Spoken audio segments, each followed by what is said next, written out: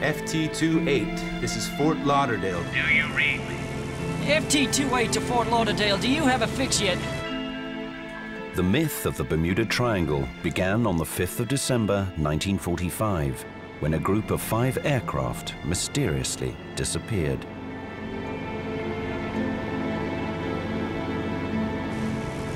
Everything is wrong. Even the ocean looks different.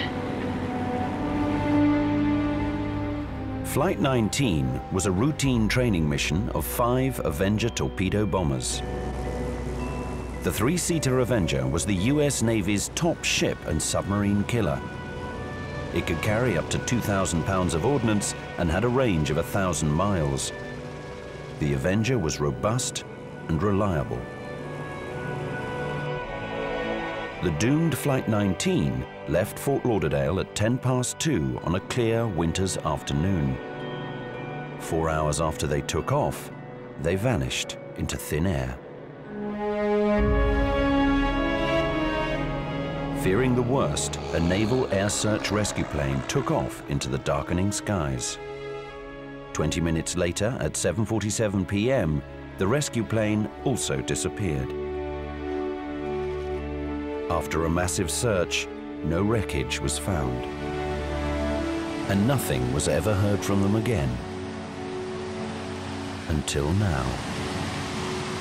Over the last 60 years, this mystery has sustained the wildest theories about what strange forces could be at work out here.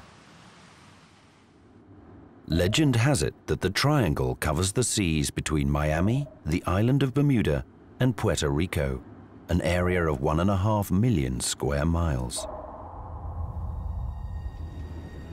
Since 1492, when Columbus first sailed into the area and saw strange lights in the sky, the list of unexplainable disappearances in the Bermuda Triangle has grown.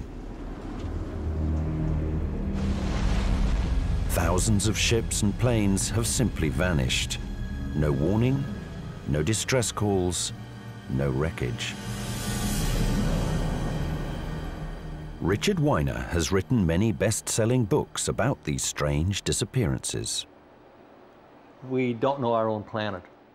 We know more about the moon. We're probably learning more about Mars than we know of our own planet. We know about the Earth, but we don't know about the sea. The boatyards of Key West hum with stories about those who were lost in the triangle. Stories of giant sea monsters, cosmic time warps, spinning compasses, and holes in the ocean that swallowed ships have echoed throughout the world. Yet the disappearances continue. I would say there's some kind of a anomaly going on down there that we can't explain. Something that goes on down far, far below the deepest uh, rays, the last rays of sunlight, way down. There's something going on down there.